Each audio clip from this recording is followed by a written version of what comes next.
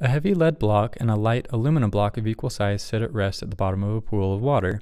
Is the buoyant force on the lead block greater than, less than, or equal to the buoyant force on the aluminum block? And then they give you some choices.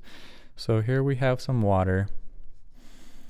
And then at the bottom of the pool down here, we have a lead block and we have an aluminum block and pretend these guys are exactly the same size.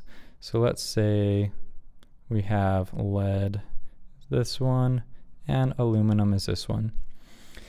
So buoyant force is the amount of water or the volume of water that we are dispersing or pushing out.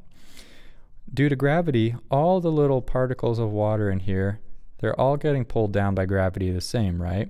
So gravity is squishing all these guys together. And so, since they're all squishing together, they're all pushing on each other.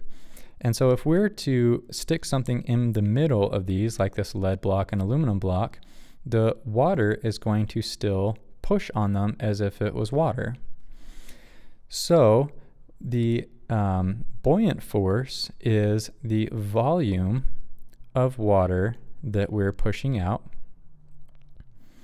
uh, buoyant force and buoyant force. So if we were to actually write out what the equation is, it's the density of water times gravity times the volume that, of water that we're dispersing. So even though the lead is way more dense, all we care about is the density of the water itself, which of course is the same. Gravity, of course, isn't changing, and their volumes are identical as well. So in this case, the dispersion force is proportional to the volume of water that we're pushing out. So the buoyant force for both of these will be exactly the same.